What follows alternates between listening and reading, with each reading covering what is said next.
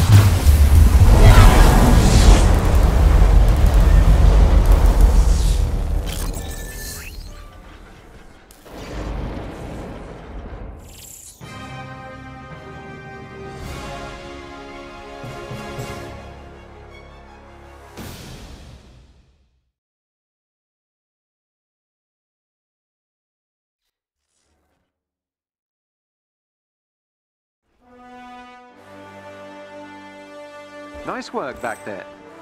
It all makes a difference. AIM's efforts must be counted at every turn. Keep fighting the good fight.